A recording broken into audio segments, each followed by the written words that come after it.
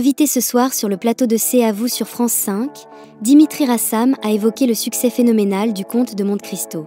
Le film, qui a déjà rassemblé plus de 7,6 millions de spectateurs, s'impose comme l'un des plus grands succès du cinéma français de ces dernières années.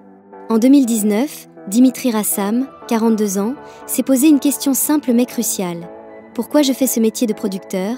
Quel film j'ai envie de porter à l'écran?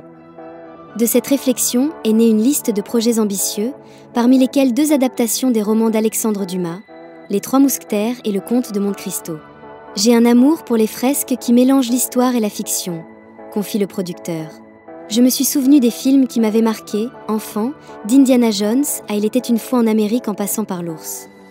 Cette vision s'est concrétisée avec le succès retentissant des deux volets des Trois Mousquetaires, qui ont cumulé 6 millions d'entrées.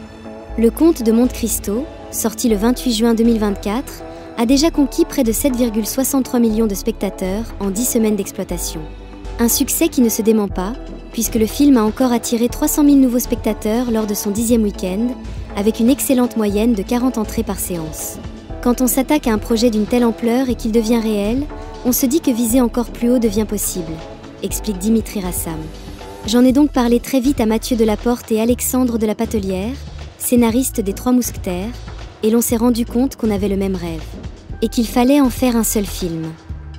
Au moment de présenter Dimitri Rassam, lors de son arrivée sur le plateau, Anne-Elisabeth Lemoine nous a gratifié de l'une de ses bourdes légendaires. Elle a en effet présenté l'ex de Charlotte Casiraghi comme le protecteur du parrain, avant de se rattraper Pardon le prénom. Dans un fou rire, Babette a alors ajouté Ça commence très mal. Mais en professionnel, Anne-Elisabeth Lemoine a vite rattrapé le coup et a ensuite interrogé le fils de Carole Bouquet sur un pari fou lancé par l'équipe du film. Dimitri Rassam confirme en effet une rumeur.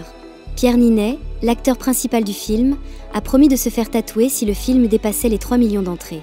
Il explique Il n'a pas encore fait, mais on a tous dans un moment d'abandon fait une série de paris tatouages qu'on va tous devoir honorer.